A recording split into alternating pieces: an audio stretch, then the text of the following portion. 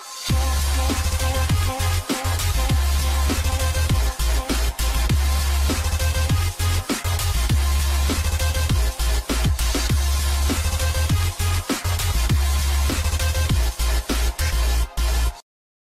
Hello tout le monde, j'espère que vous allez bien. On se retrouve pour la suite de la première vidéo qui a été diffusée concernant le spoil massif des prochains items que va vendre Xur.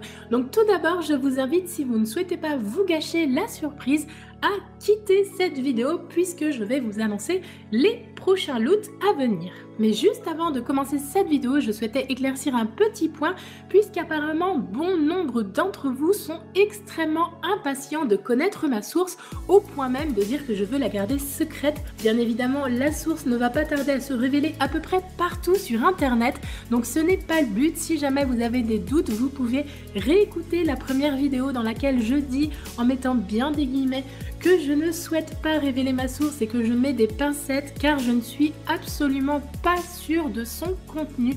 Donc bien évidemment, je préférerais attendre que ça se vérifie la semaine prochaine, mais comme vous êtes impatient, je vous donne d'ores et déjà mes arguments. Donc j'ai eu euh, l'information de ce leak il y a environ 3 ou 4 jours euh, de par la vidéo d'un Américain et ce même Américain a trouvé des informations sur le site Reddit. Donc je vous mettrai l'adresse du site en dessous dans la description.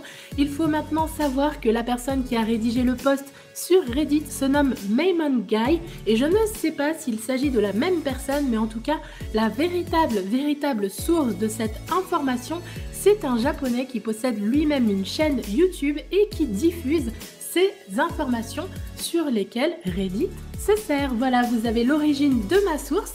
Donc je vous mettrai le nom du site comme je vous l'ai dit dans la description. Et maintenant c'est parti, on va pouvoir parler de la prochaine nuit noire, des prochains dégâts et également des prochains loots de Xur. Donc on commence tout de suite avec les items de Xur pour le 13 mars prochain. Il y aura donc le gant pas de plan B pour les titans, le torse écusson d'Alpha Lupi pour les chasseurs et le casque lumière par-delà l'adversité pour les arcanistes. En revanche, côté arme, grosse déception, il s'agira de la télécommande universelle, cette fameuse arme dont je ne sais pas encore comment me servir ni vraiment où elle peut puiser son utilité. Et concernant l'engramme exotique, nous aurons le droit à un engramme de bras tout simplement. On va maintenant pouvoir parler de la prochaine nuit noire. Elle se déroulera donc sur Vénus. Il s'agit de l'enclos de l'hiver avec le prêtre Archonte. Et concernant ces dégâts, eh bien la bonne nouvelle, il s'agira des trois dégâts solaire, cryo et abyssal. Et voilà, c'est tout pour cet énorme spoil. Je vous invite à rester connecté à notre chaîne YouTube pour avoir les prochaines informations. Vous pouvez également me suivre sur Twitter, je lâche pas mal d'informations sur Twitter. Vous avez actuellement euh, le nom de mon compte qui s'affiche à votre écran et vous le retrouverez également dans la description en dessous de cette vidéo.